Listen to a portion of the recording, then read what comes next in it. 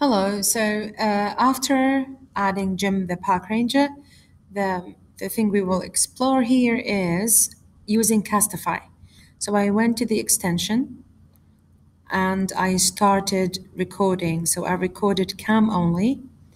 And then this was the video. It's in 49 seconds. After I finished it, I publish it to YouTube. So I'm going to copy the link of the video and press on adding the image. Now you have upload image URL, you go to YouTube URL and you add it here.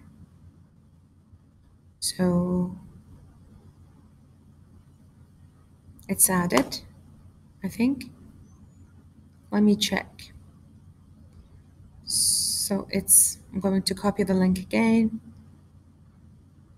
So it's already published.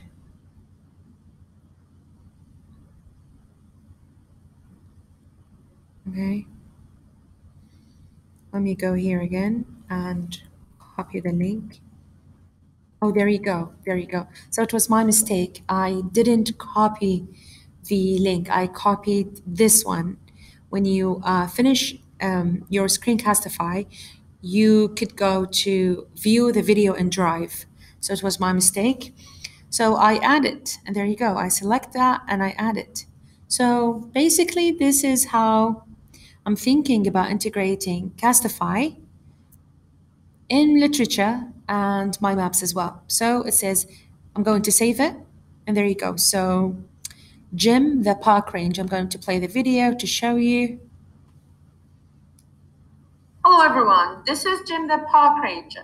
So the park ranger main responsibility is to welcome visitors, make sure they are registered, check their IDs and everything, verify those visitors, and then. Okay, so, oops, it's there, isn't it? Okay, yeah.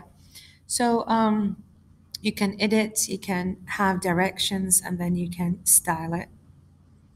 So I'm just going to explore here. Oh, it's green. Oh, let's make it. Let's make it blue. And the icons, I'm going to put a question.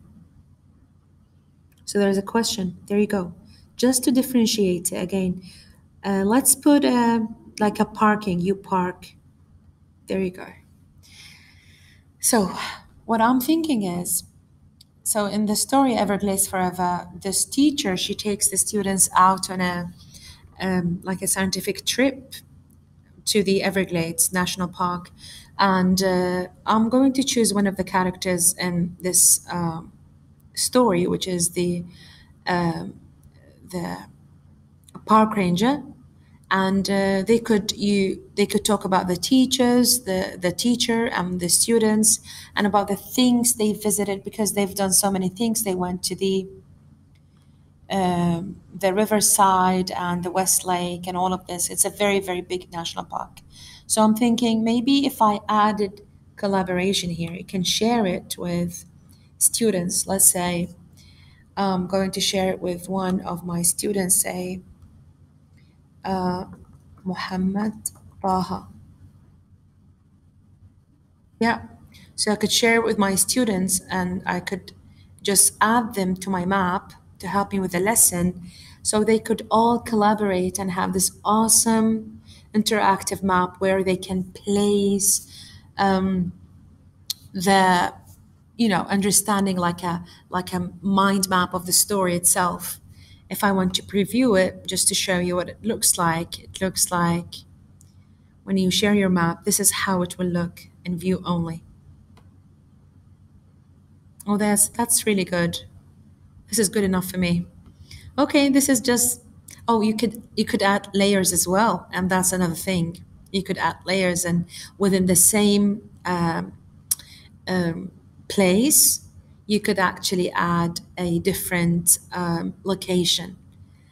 So um, I guess I'm going to explore this much further and uh, hopefully some uh, lessons after the winter break. We will use my map. I'm so excited to use this with my students. I think it looks so much fun. Thank you, Castify, for this awesome um, idea. And uh, I mean, without sharing it with uh, you guys, I wouldn't even know.